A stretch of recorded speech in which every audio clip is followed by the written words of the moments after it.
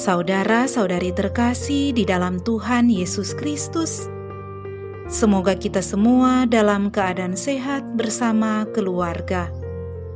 Saat ini, marilah kita mendengarkan bacaan Kitab Suci dan renungan harian Rabu 1 Desember tahun 2021. Marilah berdoa. Dalam nama Bapa dan Putra dan Roh Kudus. Amin. Allah Bapa yang penuh kasih, pada saat ini kami akan membaca dan merenungkan firman-Mu. Kami mohon, bukalah hati kami, agar kami dapat hidup seturut dengan firman-Mu. Demi Kristus Tuhan dan pengantara kami. Amin.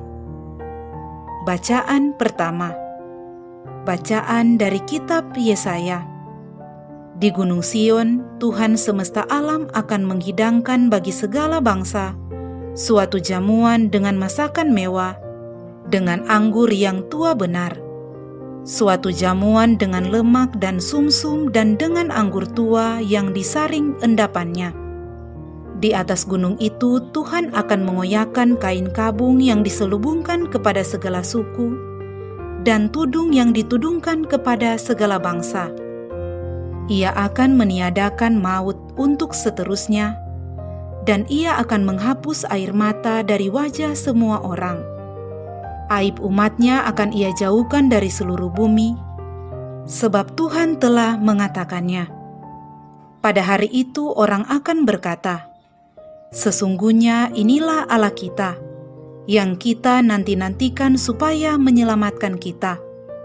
Inilah Tuhan yang kita nanti-nantikan marilah kita bersorak-sorai dan bersukacita karena keselamatan yang diadakannya.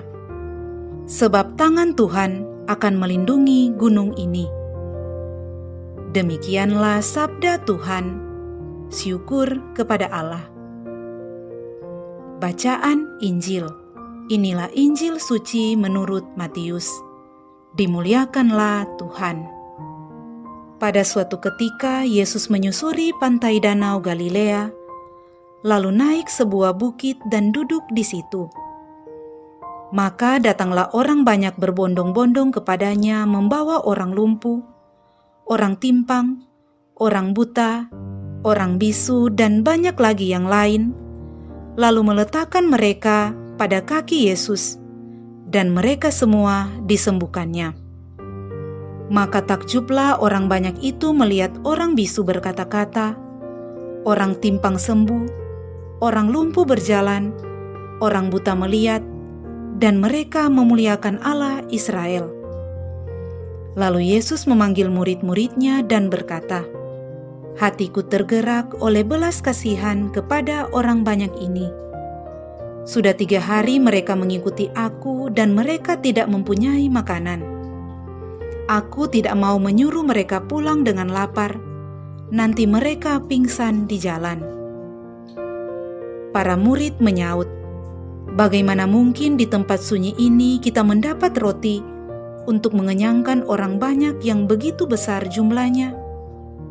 Kata Yesus kepada mereka, "Berapa roti ada padamu?" Tujuh jawab mereka, dan ada juga beberapa ikan kecil. Yesus selalu menyuruh orang banyak itu duduk di tanah. Sesudah itu, ia mengambil ketujuh roti dan ikan-ikan itu. Ia mengucap syukur, membagi-bagi roti itu, dan memberikannya kepada para murid. Lalu, para murid membagikannya kepada orang banyak. Mereka semuanya makan sampai kenyang. Kemudian, potongan-potongan roti yang sisa dikumpulkan, tujuh bakul penuh Demikianlah sabda Tuhan. Terpujilah Kristus. Saudara-saudari terkasih di dalam Tuhan Yesus Kristus, renungan kita di saat ini diberi judul "Datang kepadanya". Saudara-saudari terkasih, ada seorang pemuda yang mengaku mendapat kekuatan baru untuk kembali kepada Tuhan setelah mengalami krisis iman dari kata-kata yang diucapkan Tuhan Yesus dalam Injil Yohanes. Barang siapa haus, baiklah ia datang kepadaku dan minum. Kata-kata ini sungguh-sungguh mengubah seluruh hidupnya. Ia merasa sedang mengalami kehausan rohani saat itu, maka ia sangat membutuhkan Yesus, Sang Air Kehidupan.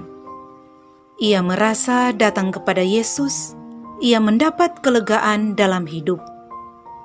Sejak saat itu, ia percaya bahwa apa pun persoalan hidup, kita harus berani datang kepada Yesus. Ia akan memulihkan hidup kita. Saudara-saudari terkasih, kita sekarang ini sementara ada dalam masa Adventus. Masa Adventus adalah masa penantian di mana setiap orang beriman datang kepada Yesus. Mereka bisa datang sendiri atau datang dengan membawa sanak keluarga yang membutuhkan Yesus dalam hidup mereka. Sama halnya dengan kisah Injil pada hari ini, setelah Yesus menyusur pantai Danau Galilea, ia naik ke atas bukit untuk duduk sambil beristirahat dan bersyukur. Ini menjadi kesempatan di mana banyak orang datang kepadanya. Mereka membawa orang-orang sakit, ada yang lumpuh, ada yang timpang, ada yang buta, dan orang-orang bisu, serta lain sebagainya. Orang-orang ini benar-benar merasa bahwa mereka membutuhkan Tuhan Yesus, maka mereka datang kepadanya untuk memperoleh kesembuhan. Semua mujizat yang dilakukan Tuhan Yesus dilakukan dalam nama Tuhan Allah, bukan dalam dirinya sendiri. Semuanya adalah kehendak Allah Bapa di surga. Ada dua mujizat yang dilakukan Tuhan Yesus menurut bacaan Injil hari ini. Yang pertama, Tuhan Yesus menyembuhkan orang-orang sakit. Banyak orang yang datang kepada Yesus seperti orang bisu dapat berbicara, orang timpang sembuh, orang lumpuh dapat berjalan, dan orang buta bisa melihat kembali. Tuhan Yesus juga menyembuhkan kita semua dari sakit penyakit dan kelemahan, asalkan kita berani datang kepadanya. Yang kedua, mujizat Tuhan Yesus menggandakan roti dan ikan untuk melepaskan rasa lapar banyak orang. Ia menunjukkan wajah kerahiman Allah dengan hati yang tergerak oleh belas kasihan kepada banyak orang yang datang untuk mendengarnya. Para murid hanya memiliki tujuh buah roti dan beberapa ikan kecil. Namun Tuhan Yesus membuka mata mereka dengan menggandakannya menjadi berlipat-lipat ganda. Orang-orang banyak memakan roti dan ikan itu sampai kenyang, dan masih ada sisa tujuh bakul penuh. Saudara-saudari terkasih, apa yang hendak Tuhan katakan kepada kita pada masa Adventus ini? Yang pertama, bahwa kita membutuhkan Tuhan Yesus. Dia menyembuhkan segala penyakit dan kelemahan kita. Adalah tugas kita untuk membawa sesama kita kepada Tuhan Yesus supaya dapat disembuhkan. Yang kedua, kita hendaknya berani untuk murah hati dan berbagi. Banyak kali kita takut karena hanya sedikit yang kita miliki, padahal jika kita berani murah hati dan berbagi, maka kita sementara ikut memberi hidup kepada sesama. Yang ketiga, masa Adventus ini adalah masa untuk melakukan perbuatan kasih di sekitar kita banyak orang yang lapar dan haus, sementara ada orang yang membuang-buang makanan dan minuman. Ketiga poin ini membantu kita untuk memaknai masa Advent ini dengan datang kepada Yesus dan menyerupainya. Dia telah datang kepada kita, maka marilah kita datang kepadanya dengan hidup kita seadanya, karena hanya Tuhan Yesus yang benar-benar mampu memulihkan kita ketika kita mau datang kepadanya. Marilah berdoa. Allah Bapa yang Maha Kuasa, Engkau telah mendorong Beato Dionysius dan Redemptus untuk menaburkan benih sabdamu di Indonesia, sampai mereka menyerahkan nyawa demi namamu. Kami mohon, tanamkanlah semangat mereka dalam hati kami, agar kami pun semakin gigih mewartakan sabdamu di tengah masyarakat, sehingga semakin banyak orang yang datang kepadamu.